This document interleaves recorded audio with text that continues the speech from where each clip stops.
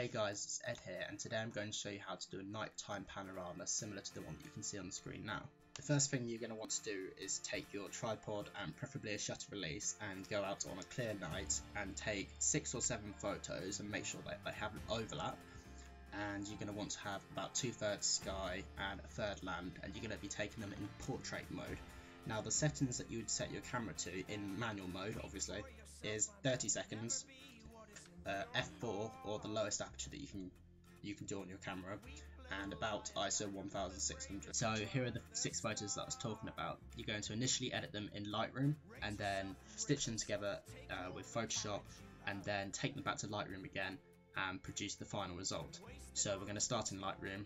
Now the first thing you'll see me doing here is lowering the temperature. As you can see it's very warm and this is because the camera's got the white balance wrong but you lower the temperature and fiddle with the tint until you believe uh, the sky looks how it was um, when you took the photo. So that's what I'm just doing here. Now, when you've done that, you're going to want to do my standard thing, which is to lower the highlights and up the shadows. And you'll see me doing this now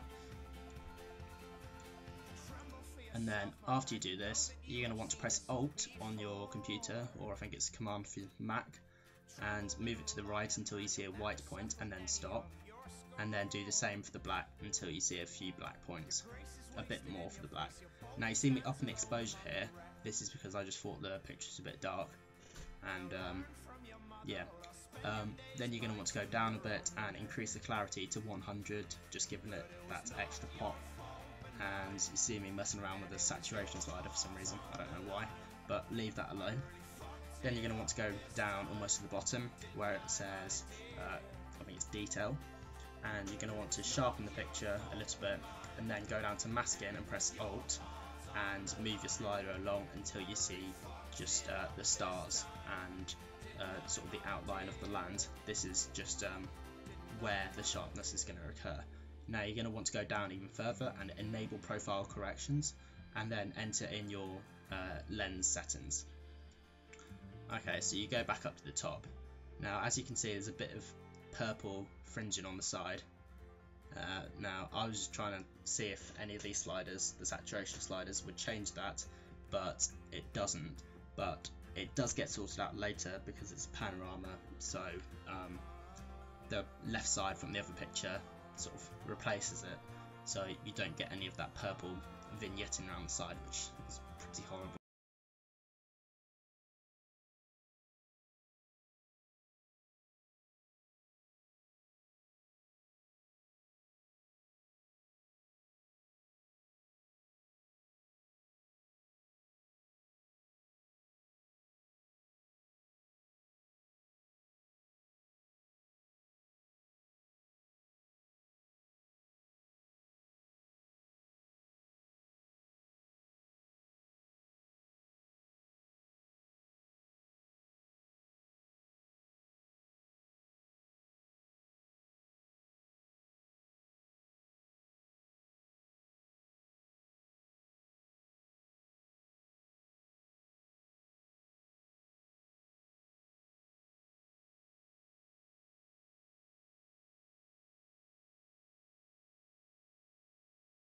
So when the panorama's finished, there's going to be a little box that comes up. Just press no, you don't want to do that. Uh, then you're going to use the crop tool and just do a rough crop. Um, you know, including most of the photo, but leaving a little bit of the edges on show as well, because we're going to come back to it with the clone stamp tool and fill in the edges to just get a larger picture. Then you're going to want to go down to the bottom right uh, where the uh, layers are and just select all the layers and then right click and press flatten image to bring them all into one layer. Uh, now go down into the layers bar at the bottom again and double click on the single layer and press OK and then right click on it and press duplicate layer.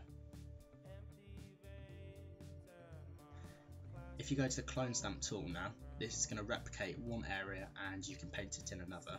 So to take that sample, um, you're going to press Alt and then paint it quite close to where you took the sample um, and then uh, just paint until uh, all, all of the white is gone and just go around the picture and do the same.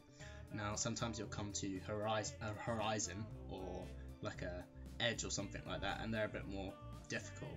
You're going to want to press Alt on the horizon um, quite close to where the white bit is and then move your mouse over and click down and just paint around and it should look okay. Now I've rushed it a bit here but that's just to show you guys. Now you see me cropping the picture in a, a bit and elongating the sky. Uh, that's just my preference. You don't have to do that, but I thought it works well with this picture. Okay, so when you finish, just file, save as, and in the same folder, whatever, uh, as a JPEG file.